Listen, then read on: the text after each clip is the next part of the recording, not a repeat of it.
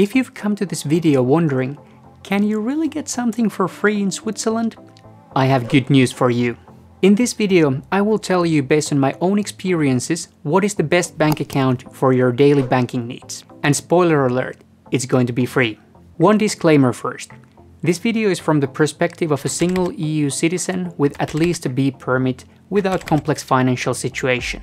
If you are from outside EU, especially US, have only L permit, or are looking for a joint account, the solution might not work for you. Also, this video is not sponsored, but I may use affiliate links in the description. Once people arrive in Switzerland, there are three ways how they end up choosing their bank account. One, you already have friends in the country and ask them which bank account you should choose. Two, your employer has a deal with one of the major banks and you end up taking that deal. Or three, you try to Google all the alternatives available, get overwhelmed by all the possible options, and eventually just walk to whatever bank is closest to your home and they'll attempt to open an account. In my case, I was the last one. I still remember myself four years ago when I first arrived in Switzerland sitting in my small room trying to wrap my head around the different bank accounts. Due to the fact that I had just started my new job, moved to a new country where I barely knew anyone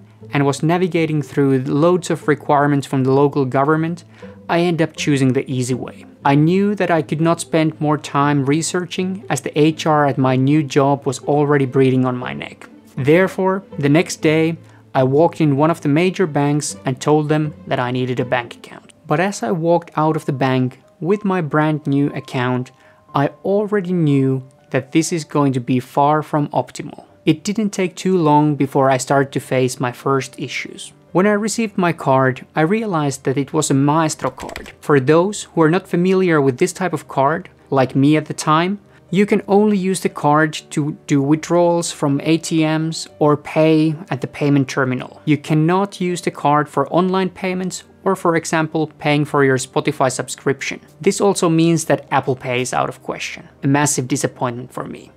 Second, logging in the online bank requires a separate battery-powered device to get a changing PIN code for login. Maybe a good for security, but for everyday usability, total pain in the ass. I'm used to handle all my banking via the apps in my phone, so you can guess that this little device was always in the wrong place at the time when I would have needed it. Last, the mobile app was filled with features after features like investment advice and stock trackers, most of them totally useless for me. This made the user experience, let's say, not optimal. The final nail in the coffin was when I received a notification on the fees that I would have to pay the second year. I remember walking home from work, stopping in the middle of the street, thinking to myself, there must be a better option. So when I got home, I went straight to my computer and started my research. I started by listing the criteria for my new bank account. I had three must-haves. One, the bank must have a simple to use mobile app without unnecessary clutter. Two,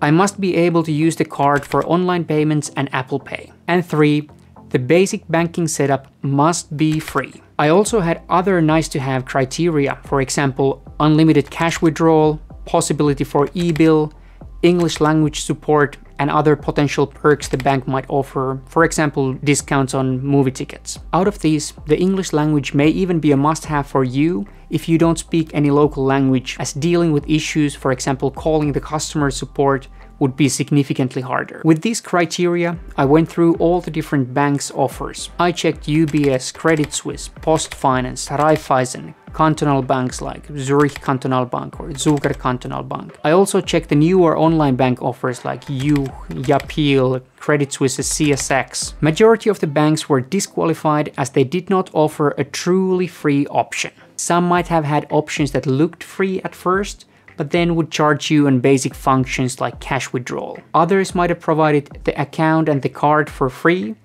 but only if you kept an account balance high enough. This would not work for me as I'm looking to keep my money working in my investments rather than losing value on the bank account. In the end, I had two contestants left, Bank Cler Zak and Neon. Both are online only offers that you operate fully through their mobile apps. To properly find out which one was better, I opened an account with both banks. At the time of recording, I've used both accounts for multiple years and been switching between the two as my main account to fully understand them. Based on my experiences with the two, I can confidently say that we have a clear winner. And the winner is Neon.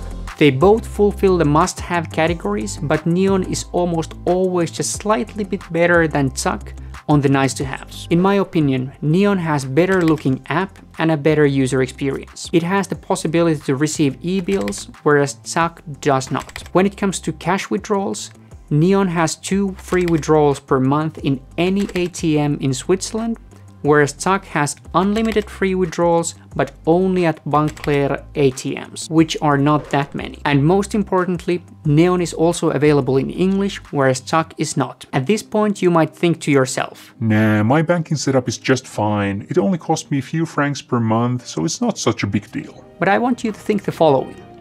Which would bring you more joy? Spending your money on unnecessary banking fees or with the same money surprising your significant other with flowers this weekend?